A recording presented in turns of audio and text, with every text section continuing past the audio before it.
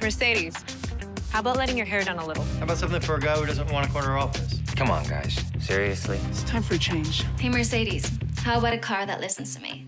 unlike some people. I heard that. Hey, Mercedes, can you make it a little cooler in here? I have set the temperature to 21 degrees.